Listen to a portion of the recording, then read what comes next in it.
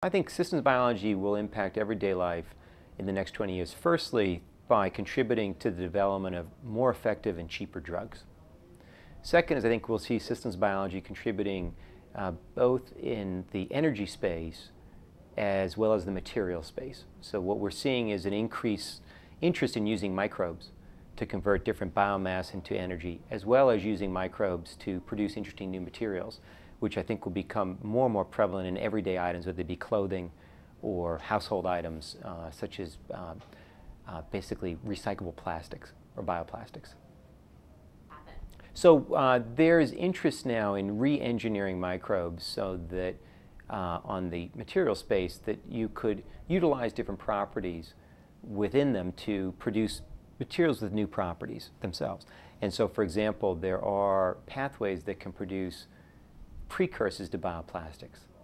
And uh, these pathways are quite difficult to actually get to work in vitro outside the cell. But we're now seeing that it's possible to re-engineer organisms like E. coli to actually bring in foreign pathways that allow them to convert something like glucose or sunlight actually into a precursor for a plastic product. Similarly, on the energy side, we're seeing that people are now looking at metabolic pathways and regulatory pathways to see if we can rewire bacteria to either convert, for example, cellulose into something like butanol or ethanol, or to better capture sunlight to produce hydrogen or biodiesel. And in each of these cases, systems biology is being used in order to gain insight into the actual wiring and functioning of the cell.